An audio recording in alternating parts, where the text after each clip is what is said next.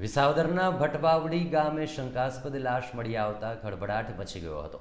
મળતી માહિતી મુજબ, ભટવાવડી ગામની સીમમાં જયમંતભાઈ વાળાની વાડીના શેડે એક લાશ પડી છે તેવું વાડી માલિકે ગામના સરપંચ ભરતભાઈ વાળાને જાણ કરતા સરપંચે તુરંત વિસાવદર પોલીસ અને જંગલ ખાતાના અધિકારીઓને જાણ કરી હતી.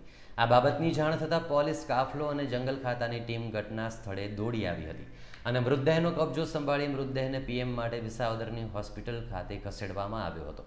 પરંતુ ત્યાં મૃત્યુનું ચોક્કસ કારણ ન જાણી શકાતા મૃતદેહને ફોરેન્સિક પીએમ માટે જામનગર ખાતે મોકલી આપવામાં આવ્યો હતો. દરમિયાન એક યુવાનને લાશની ઓળખ થતાં તેમને આગળ પોતાના પિતા નાનજીભાઈ છે તેમ ઓળખી બતાવ્યું હતું. આ અંગે પોલીસ વધુ તપાસ હાથ ધરી છે. આજરોજ તારીખ ઓગણીસ નવ બે હજાર ઓગણીસના બપોરના એક વાગ્યે વિસાવદર પોલીસ સ્ટેશન દ્વારા નાનજીભાઈ માલાભાઈ ચૌહાણ ઉર્ફે માલની લાશ અત્રેના સામૂહિક આરોગ્ય કેન્દ્ર ખાતે પોસ્ટમોર્ટમ માટે લાવેલી છે. આ બોડીનું પરીક્ષણ કરતાં અમે લોકો એનો મૃત્યુ શા કારણે થયેલું છે તે ચોક્કસ કારણ આપી શકીએ તેમ નથી. બોડી તદ્દન કોહવાયેલી અવસ્થામાં છે અને ખૂબ જ દુર્ગંધ આવે છે તેમાંથી.